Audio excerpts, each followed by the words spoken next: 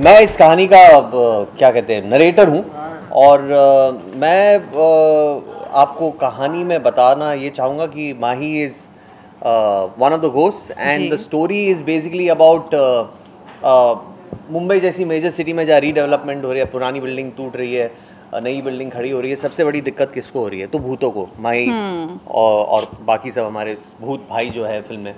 तो वो बेचारे कहाँ जाए? क्योंकि ये पुरानी बिल्डिंग और ये मिले उनका अड्डा था। तो कहानी इस किस्म के भूतों की दुर्दशा के बारे में है। और फिर जाकर के कैसे एक मैंशन में, क्योंकि जगह की बहुत कमी है, एक मैंशन में भूतों को एम्प्लॉय या रखा जाता है on the basis of what they can contribute household में क्या कंट्रीब्यूट कर सकते हैं?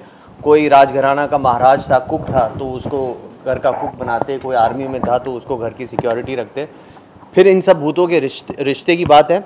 और फिर जाकर के कैसे डेवलपर ये बंगला देखता है और वो तोड़ करके उसको मॉल बनाना चाह रहा है और ये कैसे भूत सारे मिल करके this gang of ghost gets together और इस डेवलपर को कैसे भगा देते वो इस फ़िल्म की कहानी है। नई तरह की फ़िल्म है ऐसे भूतों का ग्रुप बन के अपने हक के लिए लड़ रहा है और मस्ती कर रहे हैं तो I think this is something new well बहुत बड़ी मिलने वाली है मुझे पोस्ट इज़ द वेल बहुत बड़ी मिलने वाली है मुझे पोस्ट इज़ द ज़रूर देखने जाना gang of ghost is the ज़रूर देखने जाना gang of ghost is the carry on carry on carry on 21 मार्च को. या this one